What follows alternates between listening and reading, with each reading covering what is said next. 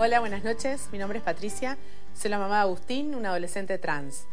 Quería agradecerles a todas las personas que por más de dos años trabajaron constantemente para que el Parlamento Nacional aprobara la ley integral para personas trans en el Uruguay. Para convencer a los legisladores y legisladoras, tuvimos que mostrarles la realidad de muchas de las personas trans del Uruguay. A continuación, les mostramos algunos de los argumentos que utilizamos el 75% de las personas trans han sido expulsadas del sistema educativo.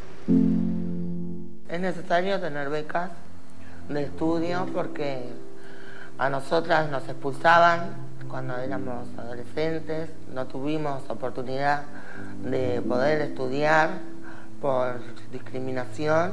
Yo la escuela la hice toda, fue muy difícil porque yo estaba en un cambio como de transición. En ese tiempo no te explicaban tampoco, eh, te tenías que estar escondiendo. En la adolescencia dejé el liceo y me vivían violentando, me vivían peleando, me vivían insultando diciéndome negro, diciéndome puto, no tenía casi compañeros, hasta que no aguanté más, porque tampoco los profesores nos daban mucha bola, tampoco tuve mucho el apoyo de mis padres, no tenía buenas notas por el problema de la gente, que bueno, que me discriminaba, me hacían bullying y todo ese tipo de cosas, la tuve que dejar. Yo ahora estoy estudiando, haciendo el ciclo básico, y después quisiera hacer UTU. Me estoy esforzando muchísimo porque es tremendo cambio que después de veinte y pico de años volver a retomar.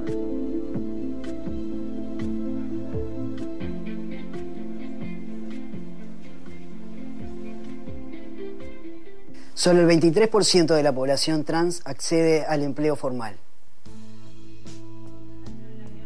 Mi nombre es Luana, tengo 34 años. Hace tres años que me animé del todo y decidí vivir mi vida como realmente era, como mujer trans. Yo que, he estado de los dos lados, antes era bastante simple acceder a un trabajo, siempre te llamaban. Este, yo ahora estuve un año y medio buscando trabajo y se me hizo muy difícil acceder a uno. No nos llaman porque la gente, no sé, no quiere a alguien que se vea diferente. Mi trabajo, soy de las primeras caras que ves al entrar y bueno, si bien hay gente que se sorprende, otra gente que va seguido se ha acostumbrado con esta ley asegura que la comunidad trans va a tener acceso al trabajo. Creo que sería importante que el gobierno tomara cartas en el asunto porque somos una comunidad que existe y no la pasamos bien.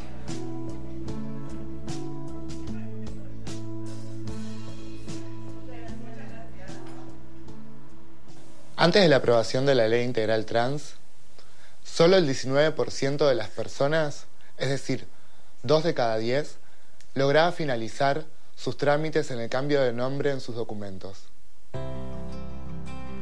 Mi nombre es Paula Moreno, yo soy de Las Piedras, pertenezco al colectivo Diverso. Es importante que se modifique el cambio de nombre y sexo registral y que deje de ser un trámite judicial para que sea un trámite administrativo. Es un trámite muy largo donde las personas trans tenemos que pasar por, por varias etapas donde se nos pregunta cosas de nuestra vida privada. Te citan del registro civil, te ve una psicóloga, tenés que llevar cinco testigos. Si la persona no tiene testigos, no lo puede hacer. Es un trámite donde tenés que pagar. No todas tenemos plata para pagar. Si lo vas a hacer por un, por un abogado de oficio, te demora muchísimo más. Que un juez te tenga que evaluar y tenga que decir, bueno, sí, te, te dejo o no te dejo cuando soy una mujer trans y es un derecho. Nosotras las mujeres trans y hombres trans no tenemos una ley que nos ampare, una ley que nos proteja. Históricamente la comunidad trans ha sido perseguida, maltratada, abusada, somos excluidas laboralmente, somos excluidas de la, de la salud, somos excluidas de la educación. Ley integral ya, por las que no están, por las que estamos y por las que vienen, creo que es el paso que tenemos que dar para que la igualdad sea real y para que la inclusión también sea real. Durante la dictadura, decenas fuimos perseguidas y chantajeadas por la policía y el ejército. Es necesario que esta ley se vote.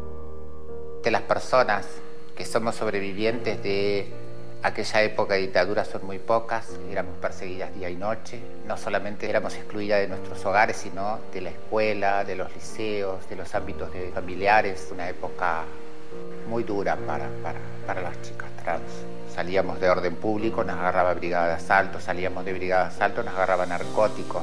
Llegábamos a pasar 7 y 15 días dentro de los calabozos porque eh, no era un solo organismo dentro de la policía que nos detenía, eran varios. No somos un modismo, existimos toda la vida, la discriminación existió toda la vida y sería muy bueno que esas personas que pasaron por todas esas cosas en la época de la dictadura, que puedan tener una vejez más digna y que vean por esta población que por tantos años ha sido tan vapuleada y con tanto dolor. La única forma de vivir en democracia es olvidando el odio, reparando el daño y celebrando con alegría cada vez que una persona recupera un derecho que le estábamos negando. Por eso, como siempre, nos vemos en septiembre. Nos vemos en septiembre. Nos vemos en septiembre. Nos vemos en septiembre. Nos vemos en septiembre. Nos vemos en septiembre.